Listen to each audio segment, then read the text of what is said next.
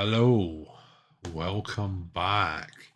So I want to just say thank you again because we've went from 40 subscribers to 101 at the moment. Let's just call it around 100. Then I think there's 101, but maybe 105. But 101 subscribers. Thank you so much. Now, that's not because of my last video, which basically was thank you.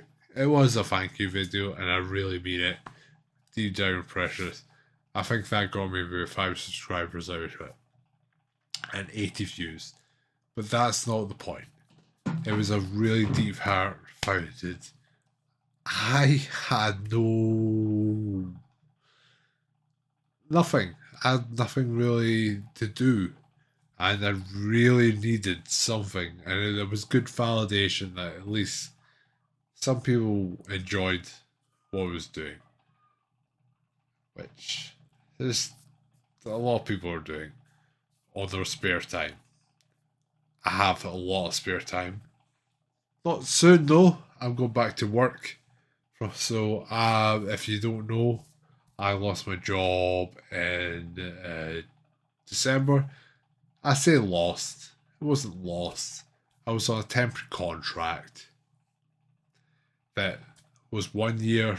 wasn't even one year. It was like nine months. It got extended to two years basically, and then Christmas, uh, New Year. Sorry, that was it. It was done.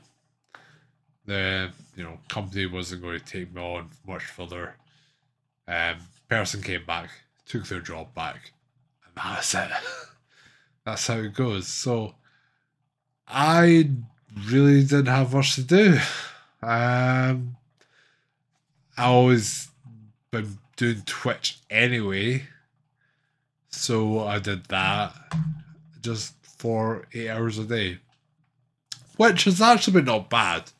I mean, I have have grown it, but you know, it's not never grown into something that's a full time job. That takes a lot more. I mean, people don't understand that you can't just play games for 8, 10, 12 hours a day and that's a job. I mean, some of the streamers I see, like, I, I don't understand how they're famous because I don't find them entertaining. And in the same way that there's probably people who go look at my stream and like, yeah, that's not for me. Some people probably just like someone who screams at a screen all the time, like, ah, oh, like, yeah, that's probably entertaining for you. I mean, fair enough. I just kind of like to just play a game skillfully if I can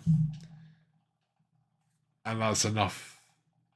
And that's kind of who I've, who I've attracted to an audience when it's on my streams. It's not a big audience, but I'm appreciative of what I've got.